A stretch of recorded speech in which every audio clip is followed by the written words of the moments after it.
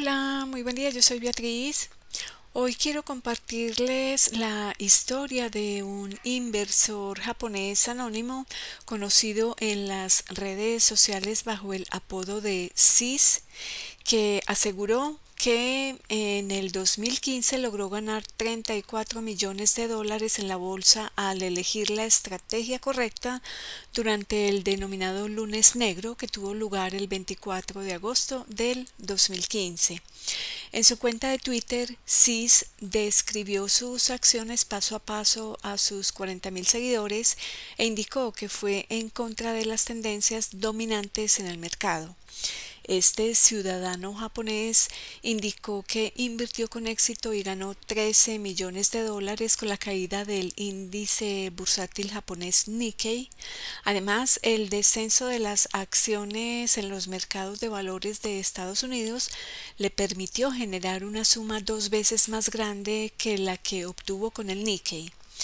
El broker de 36 años de edad se negó a hablar de sí mismo por temor a convertirse en víctima de robos o extorsiones.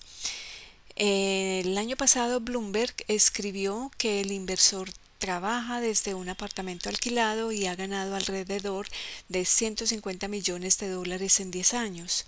Para corroborar esta información, confirmó sus comentarios con declaraciones tributarias y la presentación de informes sobre las actividades comerciales de CIS. Al mismo tiempo, este medio de comunicación señaló que CIS ya se ganó un estatus de culto entre los inversores privados japoneses al principio de su carrera gracias a los mensajes que publicó en foros de Internet. El lunes negro del día 24 de agosto del 2015 comenzó con el colapso del mercado de valores chino con una caída del 8.5%. Posteriormente, los índices europeos perdieron alrededor del 3% en la apertura, mientras que al cierre las pérdidas alcanzaron un 5%.